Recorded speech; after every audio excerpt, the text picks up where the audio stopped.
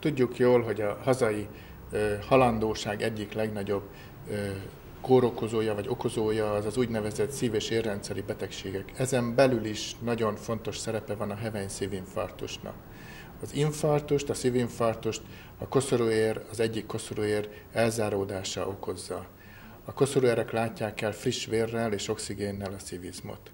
Amennyiben ez a betegség létrejön, ez egy hirtelen történet, elzáródik az ér, és elkezd elhalni a szívizom nagy fájdalmat okoz, általában nagy fájdalmat okoz a betegnek, melkasi fájdalmat, és innen kezdve tulajdonképpen ketyeg az óra. Egy láthatatlan kéz megnyom egy stopperórát, és a szívizom elhalása megkezdődik.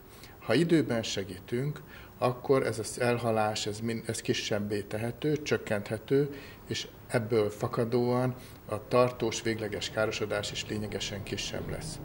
Ha a beteg időben megfelelő ellátásra kerül, akkor tulajdonképpen gyógyultan hathatja, hagyhatja el a kórházat, az ellátó helyet mindenféle maradványtünet és tartós károsodás nélkül. Ma ennek a betegségnek a legkorszerűbb ellátása, a legkorszerűbb kezelése az azonnali szívkatéterezés és a szívkatéter segítségével az elzárt koszorúér megnyitása. Erre egy országos hálózat épült fel, épült ki az elmúlt 10-15 évben, ma már gyakorlatilag a hazai lakosság döntő többségének rendelkezésre áll ez az azonnali ellátás. Az egyik legfontosabb tényező, logikusan következik az előbb elmondottakból, az idő. Az idő. És az idő első része, a késlekedési idő első része az az idő, amikor a beteg mentőt vagy segítséget hív. Sajnos ez az úgynevezett hezitációs idő ma hazánkban nagyon hosszú, a környező országokét, legyen az akár Ausztria, de a többi környező országhoz képest is két-háromszor hosszabb. Ma átlagosan egy infarktusos beteg három órát vár, panaszokkal, melkasi fájdalommal, mire segítséget kér. És sajnos ekkor sem mindig a mentőszolgálatot hívja, nagyon sokszor egyéb szak vagy laikus segítséget, segítségért fordul. A legfontosabb, hogy a beteg, hogyha melkasi fájdalmat érez, és ez a fájdalom nem múlik, erős, akkor rögtön hívjon mentőt. A Magyar Kardiológusok Társasága éppen ennek a súlyos, hezitációs időnek, ennek a nagy késlekedésének a csökkentése céljából határozta el a szívinfarktus kampány létrehozását. Ennek talán leglátványosabb része az a 30 másodperces spot, ami erről szól, a reakcióidőről, legyen ez minél rövidebb, és hogyha ilyen panasza van valakinek, akkor forduljon rögtön a mentőkhöz. Ezt a kampány természetesen nem egy egyszeri, vagy egy egyszeri néhány alkalomra szóló kampányról van szó, és nem erre terveztük. Ezt folyamatosan szeretnénk minél többször és többször a lakosság számára közvetíteni. Nagyon jó külföldi példák vannak egy ilyen kampány sikerére, de ezek a kampányok sok éven át tartottak. Például Franciaországban egy tíz éves kampánynak köszönhetően megfeleződött a betegek várakozási ideje, és ez abszolút kézzel foghatóan ahhoz vezetett, hogy az infarktusban ma például Franciaországban fele annyian halnak meg az első ellátás során.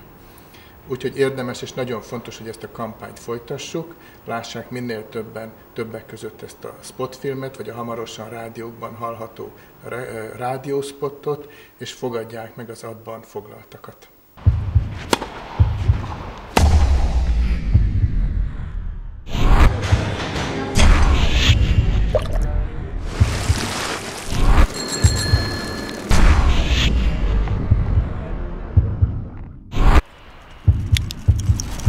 Ma Magyarországon szívinfarktus gyanú esetén átlagosan több mint három óra elteltével hívunk segítséget. Halló, mentők?